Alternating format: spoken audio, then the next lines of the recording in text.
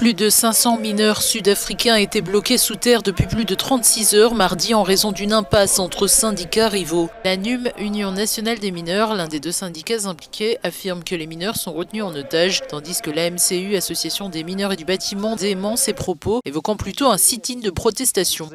Ce pays accorde le droit de s'associer, le droit d'être membre de n'importe quel syndicat, et je pense qu'il vous parle probablement de ce que nous appelons l'accord du monopole d'embauche ou closed shop, un système dans lequel l'employeur ne peut embaucher que des salariés syndiqués et qui est réglementé par la loi. Ainsi, tout syndicat susceptible de conclure un tel accord avec un employeur est autorisé à le faire.